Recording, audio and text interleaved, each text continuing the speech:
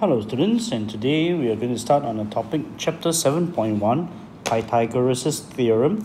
Okay, for this one I'm actually moving on to your Discovery Mathematics 2B textbook. So you need to go and prepare your 2B textbook.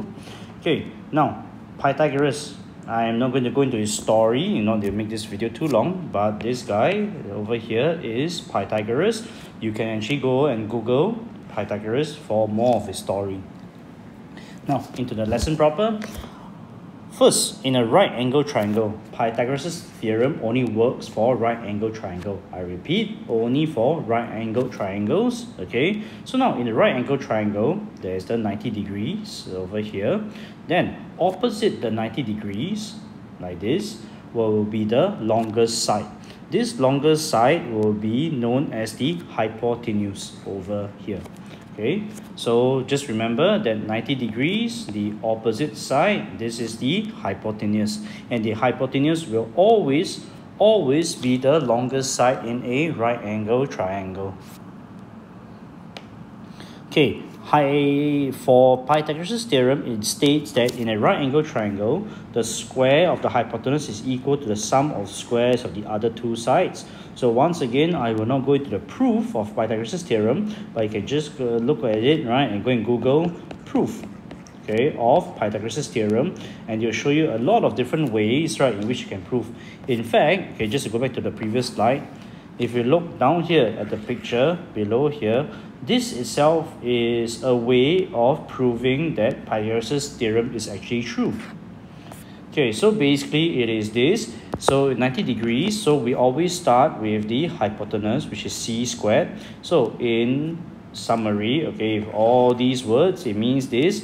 If you take the hypotenuse, you square it. Okay, the hypotenuse is always denoted by c. So c squared is equals to a square plus b square.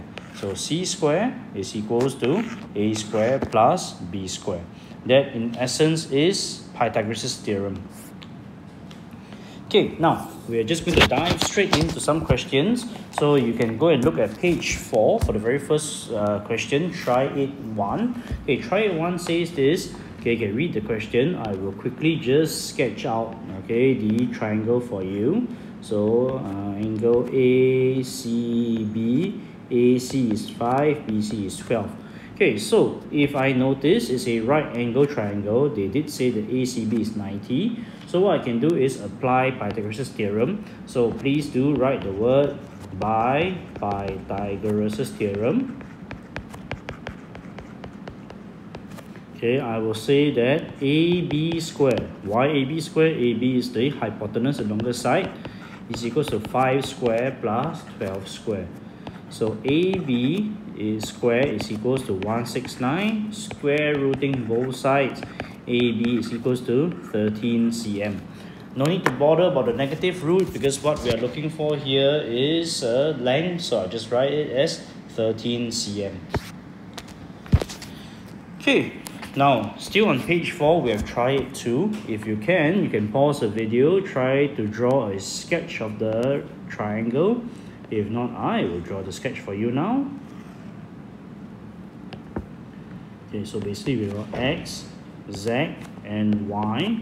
This is 8, this is 17. We have the right angle over here.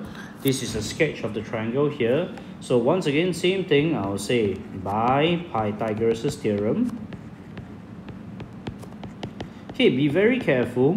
Which we always have c squared equals to a squared plus b squared. We always start with the hypotenuse. So can you identify which is the hypotenuse in this case? Is it zy? Is it the 8? Or is it the 17? In this case, if you notice, we are looking opposite the 90 degrees. This side will be the hypotenuse.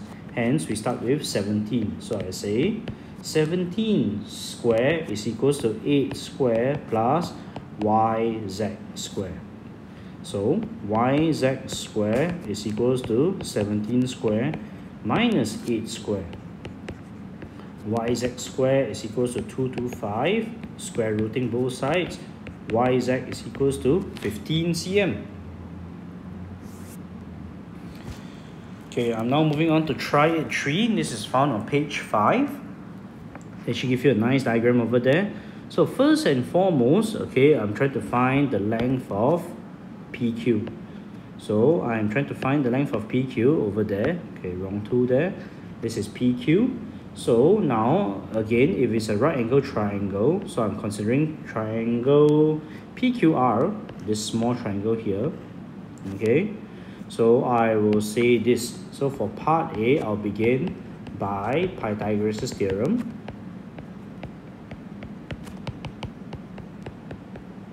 Okay, I will say 12 square, always the hypotenuse first, is equals to PQ square plus 7 square.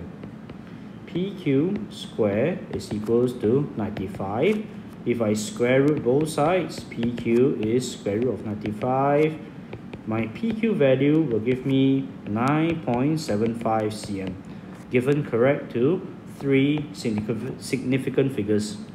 Now, I'm trying to find the length of PS.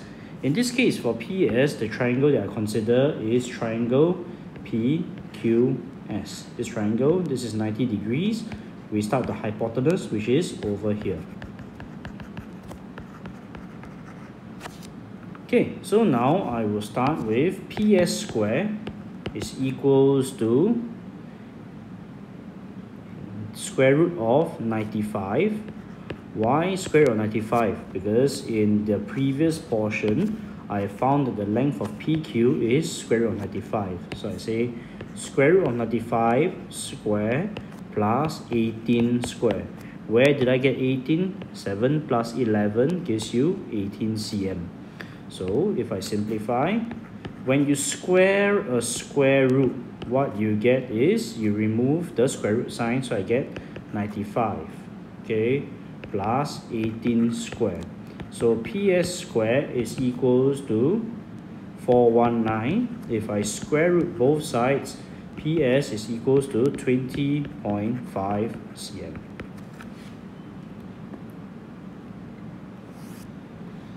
Okay, I'm going to move on to question 4. Alright, this is actually in your exercise uh, itself already 7.1 you can be found on page 5 of your textbook. Okay, so we need to draw a diagram. Let me just sketch a diagram for you. So they say that uh, there's a YXZ is 90. Okay, let me just draw the triangle out now. Just give me a short moment. If you can, you can try to sketch it out. If not, I will do the sketching first. Okay, so now I have a triangle. This is 90 degrees. Okay, so I will start with uh, Z, then X, and then we have Y, X is 3, and the hypotenuse is 7. So they ask you to find the length of XZ. Notice that we're doing the same thing over and over again because this is a right angle triangle. Over here, we can apply Pythagoras' theorem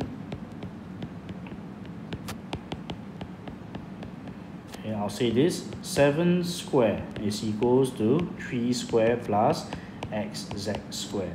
I went over the mechanics of this before already, so I shall just move a bit faster. xz square is equals to 40. I square root both sides of the equation, I get 6.32 centimeters. Okay, now I'm going to look right at question 7a. This can be found on page 6 of your textbook itself. So let me focus now on this. So notice right, first you must uh, notice where the right angle triangles are. So if there's one right angle triangle here for this one, and there's another right angle triangle for this one. Okay, I will not focus on the smaller right angle triangle first because this contains a y, this contains a 3x. There are two different variables, x and y here, so I don't think we are able to solve that yet. So what I'm going to focus on is on the large triangle first, down here like this. So now I will first begin, okay, by saying this. Okay, I will say that 50 I will use Pythagoras theorem once again so by Pythagoras theorem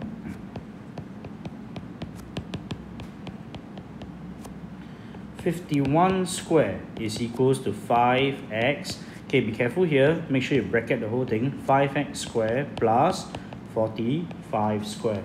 Okay, why do I tell you to be careful down here? Because if you don't put a bracket, later on you may make some mistakes when you expand 5x squared. So if I start to do this, what I get is 2601 is equals to, is it 5x squared or 25x squared? In this case, be careful. The square applies to the 5 and to the x as well. So what I get is 25x squared plus 2025. So therefore, 25x squared is equals to 2601 minus 2025. What I get is 576. Dividing both sides by 25, what I get is x squared is equals to, sorry, I will get, uh, if I solve, x, right, will be the square root. Okay, so solving x is equals to 576 divided by 25, I square root my x value gives me 4.8 cm. Okay, once I actually have that, the x value is 4.8, I can actually try to find y.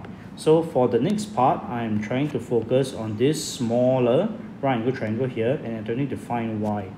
Notice I'll have the value of 3x here already because I already have the value of x. So now, once again, I will apply Pythagoras' theorem.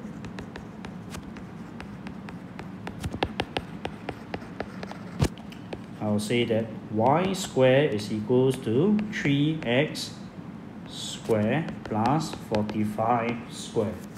Okay, now if you solve, okay, y squared is equals to 3 times 4.8. Okay, so it's 3 times 4.8 and I square this plus 45 squared. You solve for y, you get 47.2 cm. Correct to three significant figures. Okay, I am now on the very very last question for this portion before I let you off to go and do your work via Classcake. So now, the diagonal of a square is 12 cm. Find the length of the side of a square. Okay, so let me just quickly sketch a square first. Okay, not the prettiest of squares, but it doesn't matter. I know that the length of the diagonal is 12 cm. Okay, find the length of the side of a square. So I know for a square, the corner here will be 90 degrees. If I call this side x, the other side will also be x because for a square, all four sides have the same length. So let me call it x. So I'll begin and I'll say that let the side be x. So now by Pythagoras' theorem, once again,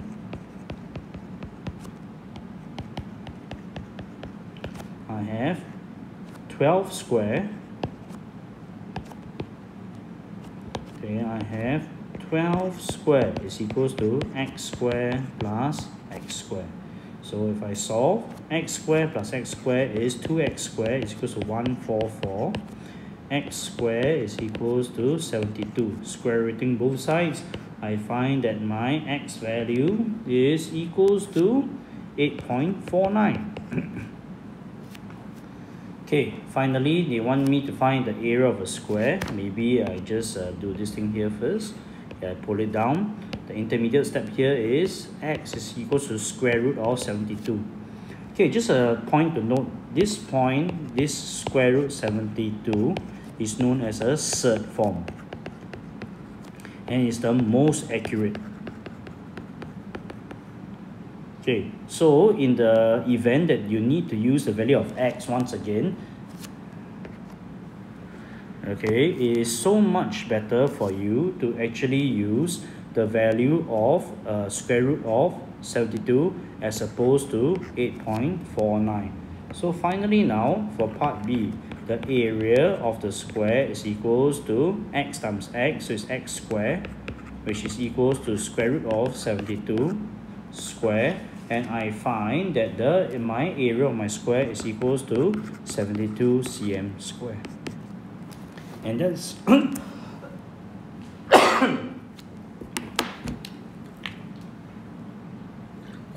Okay, and that concludes our lesson for 7.1.